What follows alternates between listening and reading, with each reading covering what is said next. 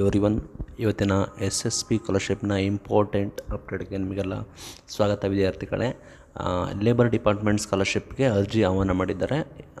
ಎಲ್ಲ ಕೂಡ ನಿಮ್ಮ ತಂದೆ ತಾಯಿ ಹತ್ರ ಲೇಬರ್ ಕಾರ್ಡ್ ಹೋಲ್ಡರ್ ಆಗಿದ್ದರೆ ನಿಮ್ಮ ತಂದೆ ತಾಯಿಯರ ಹತ್ರ ಲೇಬರ್ ಕಾರ್ಡ್ ಇದ್ದರೆ ಅಂಥ ವಿದ್ಯಾರ್ಥಿಗಳು ಅಪ್ಲೈ ಮಾಡ್ಬೋದು. ಅಪ್ ಟು ಎಪ್ಪತ್ತೈದು ಸಾವಿರದವರೆಗೂ ಕೂಡ ಅಮೌಂಟ್ ಬಂದ್ಬಿಟ್ಟು ವಿದ್ಯಾರ್ಥಿಗಳ ಶೈಕ್ಷಣಿಕ ಎಜುಕೇಷನ್ಗೋಸ್ಕರ ಸ್ಕಾಲರ್ಶಿಪ್ನ ಪ್ರೊವೈಡ್ ಮಾಡ್ತಾರೆ, ವರ್ಷ ವರ್ಷ ಅದನ್ನು ಪ್ರೊವೈಡ್ ಮಾಡ್ತಾರೆ. ಈ ಬಾರಿ ಕೂಡ ಅರ್ಜಿ ಆಹ್ವಾನ ಮಾಡಿದ್ದಾರೆ. ಅಭ್ಯರ್ಥಿಗಳು ಆನ್ಲೈನಲ್ಲಿ ಅರ್ಜಿಯನ್ನು ಕೂಡ ಸಲ್ಲಿಸ್ಬೋದು ಹೇಗೆ ಅರ್ಜಿ ಸಲ್ಲಿಸೋದು, ಏನೆಲ್ಲ ಮಾಹಿತಿಗಳಿದ್ದಾವೆ ಅದ್ರ ಬಗ್ಗೆ ಕಂಪ್ಲೀಟಾಗಿ ತಿಳಿಸ್ಕೊಡ್ತೀವಿ. ಚಾನಲ್ಗೆ ಸಬ್ಸ್ಕ್ರೈಬ್ ಎಲ್ಲ ಸಬ್ಸ್ಕ್ರೈಬ್ ಆಗ್ಬೋದು.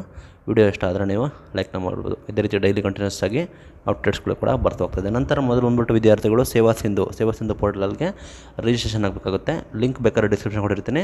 ಅಥವಾ ಕ್ರೋಮ್ಗೆ ಹೋಗಿ ಸೇವಾ ಸಿಂಧು ಅಂತ ಸರ್ಚ್ ಮಾಡಿ. ಇನ್ ಕೇಸ್ ನೀವು ಮೊದಲೇ ರಿಜಿಸ್ಟ್ರೇಷನ್ ಆಗಿದ್ದೀರಾ ಅಂದರೆ ಜಸ್ಟ್ ನಿಮ್ಮ ಮೊಬೈಲ್ ನಂಬರ್ ಎಂಟ್ರಿ ಮಾಡಿ. ಇಲ್ಲಿ ನಿಮಗೆ ಕಾಣುತ್ತೆ ನೋಡಿ ಮೊಬೈಲ್ ಮೊಬೈಲ್ ನಂಬರ್ ಎಂಟ್ರಿ ಮಾಡಿ.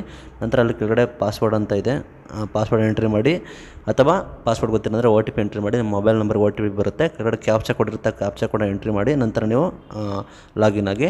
ಇನ್ ಕೇಸ್ ನಿಮಗೆ ಮುಂಚೆನೇ ನಿಮಗೆ ಇಲ್ಲ ಅಂದರೆ ನಿಮಗೆ ಮುಂಚೆನೇ ನಿಮ್ಮದು ಸೇ ಕೋಡ್ ಇಲ್ಲ ಅಂದರೆ ನಿಮ್ಮದು ರಿಜಿಸ್ಟ್ರೇಷನ್ ಮುಂಚೆನೇ ಆಗಿಲ್ಲ ಅಂದರೆ ನೀವು ಯೂಸರ್ ರಿಜಿಸ್ಟರ್ಡ್ ಅಂತ ಇರುತ್ತಲ್ಲ ನೀವು ಯೂಸರ್ ರಿಜಿಸ್ಟರ್ಡ್ ಅಂತ ಅದ್ರ ಮೇಲೆ ಕ್ಲಿಕ್ ಮಾಡಿ ನಂತರ ನೀವು ರಿಜಿಸ್ಟ್ರೇಷನ್ ಆಗಬೇಕಾಗುತ್ತೆ. ರಿಜಿಸ್ಟ್ರೇಷನ್ ಆದ ನಂತರ ನಮಗೆ ರಿಜಿಸ್ಟ್ರೇಷನ್ ಆದ ನಂತರ ಈ ರೀತಿ ಪೋರ್ಟಲ್ ಬರುತ್ತೆ. ಅಲ್ಲಿ ನೀವು ನಿಮ್ಮ mobile number O T P ಅಥವಾ ಪಾಸ್ವರ್ಡ್ನ ಎಂಟ್ರಿ ಮಾಡಿ ನೀವು ಲಾಗಿನ್ ಆಗಬೇಕಾಗುತ್ತೆ. ಲಾಗಿನ್ ಆಗಿ ನಂತರ ನಿಮಗೆ ಹೇಗಿತ್ತು ಅಂತ ಹೇಳಿ ವಿದ್ಯಾರ್ಥಿಗಳೇ ಲಾಗಿನ್ ಆಗೋದು ಸಿಂಪಲ್ ಸಿಂಪಲಾಗಿ ಹೇಳ್ಕೊಡ್ತೀನಿ. ಫಸ್ಟ್ ನಿಮ್ಮ ನಿಮ್ಮ ಮೊಬೈಲ್ ನಂಬರ್ ಅಥವಾ ಇಮೇಲ್ ಐ ಡಿನ ಕೂಡ ಎಂಟ್ರಿ ಮಾಡಿ, ಅಲ್ಲಿ ನಿಮಗೆ ಕಾಲಮಲ್ಲಿ ಕಾಣುತ್ತೆ.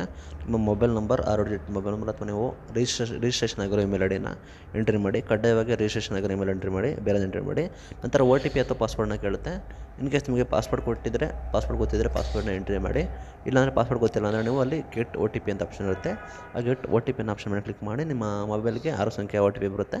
ಆ ಒ ಟಿ ಪಿನ ಎಂಟ್ರಿ ಮಾಡಿ, ನಂತರ ಅಲ್ಲಿ ನಿಮಗೆ ಕ್ಯಾಪ್ಚಾ ಕೊಡ್ಕೊಳುತ್ತೆ ಆ ಕ್ಯಾಪ್ಚಾ ಕೊಡ್ನ ಎಂಟ್ರಿ ಮಾಡಿ ನೀವು ಲಾಗಿನ್ ಆಗಿ, ನೀವು ಕರೆಕ್ಟಾಗಿ ಒ ಟಿ ಪಿ ಹೊಡಿಬೇಕಾಗುತ್ತೆ, ಕರೆಕ್ಟಾಗಿ ನೀವು ಪಾಸ್ವರ್ಡ್ ಹೊಡಿಬೇಕಾಗುತ್ತೆ, ಇಲ್ಲಾಂದರೆ ನೀವು ಮತ್ತೆ ರೀ ಲಾಗಿನ್ ಆಗಬೇಕಾಗುತ್ತೆ. ಈ ಕಾರಣದಿಂದ ನೀಟಾಗಿ ನೋಡಿಕೊಂಡು ನೀವು ನಿಮ್ಮ ಎಂಟ್ರಿಯನ್ನು ಕೂಡ ಮಾಡಬೇಕಾಗುತ್ತೆ ನಂತರ ವಿದ್ಯಾರ್ಥಿಗಳೇ, ನೀವು ಲಾಗಿನ್ ಆದ ನಂತರ ನಿಮಗೆ ಈ ರೀತಿ ಒಂದು ಇಂಟರ್ಫೇಸ್ ಓಪನ್ ಆಗುತ್ತೆ, ಈ ರೀತಿ ಪೋರ್ಟಲ್ ಕಾಣುತ್ತೆ.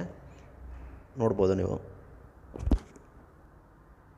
ಹಲೋ ವಿದ್ಯಾರ್ಥಿಗಳೇ, ನಾನು ಈಗ ಪೋರ್ಟಲ್ಗೆ ಲಾಗಿನ್ ಆದೆ. ಲಾಗಿನ್ ಆದಷ್ಟು ನಿಮಗೆ ಈ ಥರ ಒಂದು ಇಂಟರ್ಫೇಸ್ ಕಾಣುತ್ತೆ, ನೀವು ನೋಡ್ಬೋದು. ವೆಲ್ಕಮ್ ಟು ಸರ್ವಿಸ್ ಪ್ಲಸ್ ಅಂತ ಒಂದು ಇಂಟರ್ಫೇಸ್ ಕಾಣುತ್ತೆ.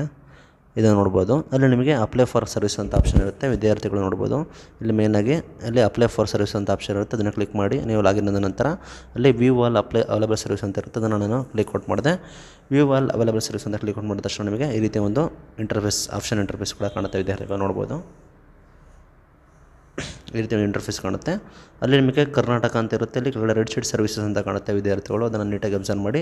ಇಲ್ಲಿ ಸರ್ಚ್ ಬಾರ್ಗೆ ಹೋಗಿ ಸರ್ವಿಸಸ್ ಮೇಲೆ ಲೇಬರ್ ಅಂತ ಕ್ಲಿಕ್ ಮಾಡಿ ಎಲ್ಲಿ B O U R labour ಅಂತ ಟೈಪ್ ಮಾಡಬೇಕಾಗುತ್ತೆ ವಿದ್ಯಾರ್ಥಿಗಳು. ಸರ್ಚ್ ಬಾರ್ ಮೇಲೆ ಕ್ಲಿಕ್ ಮಾಡಿ ಟೈಪ್ ಮಾಡಿ.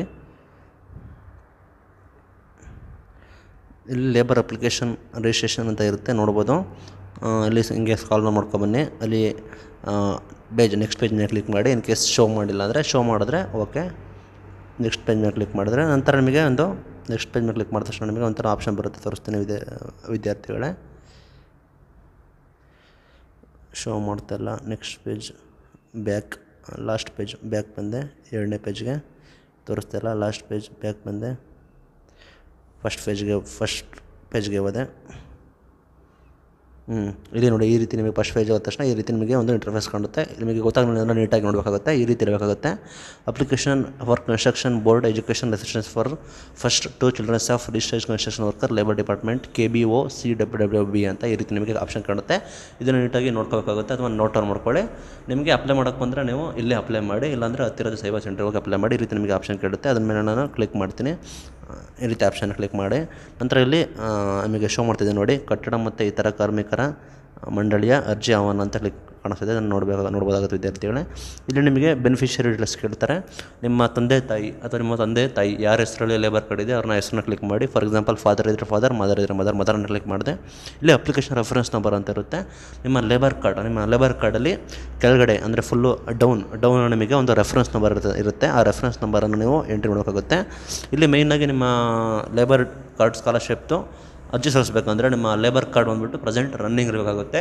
ನಿಮ್ಮ ಲೇಬರ್ ಕಾರ್ಡಲ್ಲಿ ಚೆಕ್ಔಟ್ ಮಾಡ್ಕೊಂಡ್ರೆ ಅಲ್ಲಿ ಡೀಟೇಲ್ಸ್ ಕೇಳುತ್ತೆ. ಏನಂದರೆ, ಈ ಈ ಡೇಟಿಂದ ಈ ಡೇಟ್ವರೆಗೂ ಇದೆ ಅಂತ. ರನ್ನಿಂಗ್ ಇದ್ದರೆ ನೀವು ಅಪ್ಲೈ ಮಾಡ್ಬೋದು. ಇಲ್ಲಾಂದರೆ ರಿನ್ಯೂವಲ್ ಮಾಡಿಸಿ ನಂತರ ಅಪ್ಲೈ ಮಾಡಬೇಕಾಗುತ್ತೆ.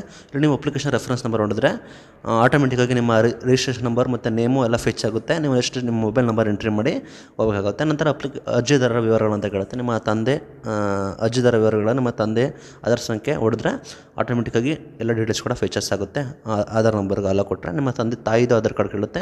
ಅದನ್ನು ಕೂಡ ಎಂಟ್ರಿ ಮಾಡಿದ್ರೆ ಅಫಿಷಿಯಲಾಗಿ ಅದು ಕೂಡ ಈಸಿಯಾಗಿ ಫೆಚ್ ಆಗುತ್ತೆ.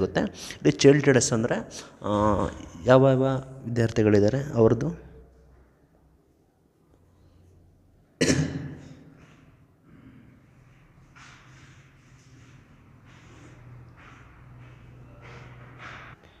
ಇಲ್ಲಿ ವಿದ್ಯಾರ್ಥಿಗಳೇ ಚೈಲ್ಡ್ ಡೇಸ್ ಅಂದರೆ ಯಾವೆಲ್ಲ ಪೋಷಕರ ಮಕ್ಕಳು ಇರ್ತಾರೋ ಅಂದರೆ ಸ್ಕಾಲರ್ಶಿಪ್ಗೆ ಅರ್ಜಿ ಸಲ್ಲಿಸೋರು ಇರ್ತಾರ ಅಂಥ ವಿದ್ಯಾರ್ಥಿಗಳ ಡೀಟೇಲ್ಸ್ ಎಂಟ್ರಿ ಮಾಡೋಕ್ಕಾಗುತ್ತೆ ಆಧಾರ್ ನಂಬರ್ ಎಂಟ್ರಿ ಮಾಡಿದ್ರೆ ನೇಮ್ ಕೂಡ ಆಟೋಮೆಟಿಕ್ಗೆ ಫಿಚ್ ಆಗುತ್ತೆ. ನಿಮ್ಮ ಜನರು ಸೆಲೆಕ್ಟ್ ಮಾಡ್ತೀರಾ, ಅದೇ ರೀತಿ ನಿಮ್ಮ ಡೇಟ್ ಆಫ್ ಬರ್ತ್ ಕೂಡ ಸೆಲೆಕ್ಟ್ ಮಾಡ್ತೀರಾ, ಆಮೇಲೆ ರಿಲೇಷನ್ಶಿಪ್ ಕೇಳುತ್ತೆ ಸನ್ ಅಥವಾ ಡಾಟರ್ ಅಂತ ಇರೋದು ಅದನ್ನು ಸೆಲೆಕ್ಟ್ ಮಾಡ್ತೀರಾ, ಮತ್ತು ಸ್ಟಡಿಂಗ್ ಕೋರ್ಸ್ ಕೇಳುತ್ತೆ ನೀವು, ನಿಮ್ಮ ಸ್ಟಡಿ ಕೋರ್ಸ್ ಸೆಲೆಕ್ಟ್ ಮಾಡ್ತೀರಾ medical M tech B B tech post graduation L L B ಅಥವಾ ಡಿಗ್ರಿ ಏನು ಮಾಡ್ತೀರಾ ನಂತರ ಸ್ಯಾಡ್ ಸೈಡ್ ಅಂತ ಕೇಳುತ್ತೆ ಸ್ಟೂಡೆಂಟ್ ಸೈಡ್ ಅಂತ ನಿಮ್ಮ S S V I D ನೀಟಾಗಿ ನೋಡ್ಕೊಂಡು ನಿಮ್ಮ ಎಸ್ ಎಸ್ ವಿ ಐ ಡಿಯನ್ನು ಕೂಡ ಮಾಡಬೇಕಾಗುತ್ತೆ ನಂತರ ಬ್ಯಾಂಕ್ ಅಕೌಂಟ್ ಡೀಟೇಲ್ಸ್ ಕೇಳುತ್ತೆ.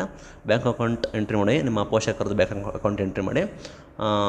ನಂತರ ನಿಮ್ಮ ನಿಮ್ಮ ತಂದೆ ತಾಯಿದು ಆಧಾರ್ ಕಾರ್ಡು ಯಾವುದಕ್ಕೆ ಲಿಂಕ್ ಆಗಿರುತ್ತೆ, ಡಿ ಬಿ ಟಿ ಆ ಅಕೌಂಟಿಗೆ ಬರುತ್ತೆ. ನಂತರ ಇಲ್ಲಿ ಡೆಕ್ಲರೇಷನ್ ಸಬ್ಮಿಟ್ ಮಾಡಿ ಒಂದು ಕ್ಯಾಪ್ಚರ್ ಕೋಡ್ ಬರುತ್ತೆ, ಕ್ಯಾಪ್ಚರ್ ಕೋಡ್ನ ಎಂಟ್ರಿ ಮಾಡಿ, ನಂತರ ಸಬ್ಮಿಟ್ ಮಾಡಬೇಕಾಗುತ್ತೆ ಸಬ್ಮಿಟ್ ಮಾಡಿದ ನಂತರ ನಿಮ್ಮದು ಆಧಾರ್ ವೆರಿಫಿಕೇಷನ್ ಬರುತ್ತೆ. ಈ ಸೈನ್ ಮಾಡಬೇಕಾಗುತ್ತೆ ನಿಮ್ಮ ತಂದೆ ಅಥವಾ ತಾಯಿ ಅಥವಾ ನಿಮ್ಮ ಆಧಾರ್ ಕಾರ್ಡ್ನ ಎಂಟ್ರಿ ಮಾಡಿ ಒ ಟಿ ಪಿ ಬರುತ್ತೆ. ಅದನ್ನು ಒ ಟಿ ಪಿ ಮಾಡಿ ನಂತರ ಈ ಸೈನ್ ಮಾಡಿದ್ರೆ ನೀವು ಫೈನಲ್ ಆಗಿ ಲೇಬರ್ ಡಿಪಾರ್ಟ್ಮೆಂಟ್ ಸ್ಕಾಲರ್ಶಿಪ್ಗೆ ಅರ್ಜಿ ಸಲ್ಲಿಸ್ತೀರಾ.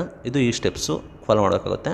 ವಿದ್ಯಾರ್ಥಿಗಳಿಗೆ ಡೌಟ್ ಇದ್ದರೆ ಅಥವಾ ಏನಾದರೂ ಪ್ರಾಬ್ಲಮ್ ಆದರೆ ಕಮೆಂಟ್ ಮಾಡಿ. ಇನ್ ಕೇಸ್ ನಿಮಗೆ ಅರ್ಜಿ ಸಲ್ಲಿಸೋಕ್ಕಾಗಲಿಲ್ಲ ಅಂದರೆ ಹತ್ತಿರದ ಸೈಬರ್ ಸೆಂಟ್ರಿಗೆ ಹೋಗಿ ಅರ್ಜಿ ಸಲ್ಲಿಸಿ. Thank you for watching till end